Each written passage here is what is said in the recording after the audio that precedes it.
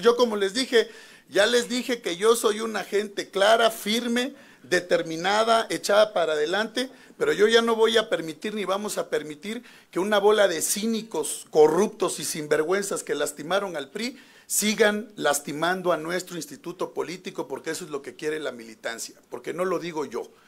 Un gran lastre para el PRI que les preguntara a ustedes, ¿ustedes creen que le ayudó al PRI generar esta narrativa y generar toda esta opinión que se dio desde 1994, que habían sido las y los priistas y el partido el que asesinó en su caso a nuestro candidato presidencial Luis Donaldo Colosio?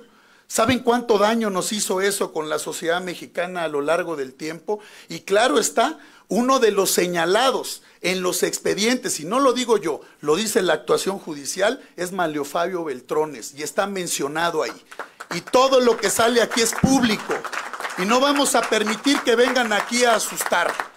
Y los vamos a enfrentar y vamos a pedir la creación de las comisiones. Y nos vamos a ir con todo. ¿Por qué? Porque gracias a esta bola de cínicos lastimaron el nombre y el prestigio del PRI.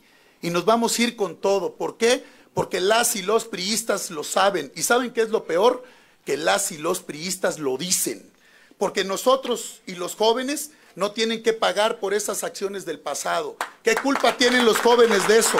Los jóvenes de las universidades.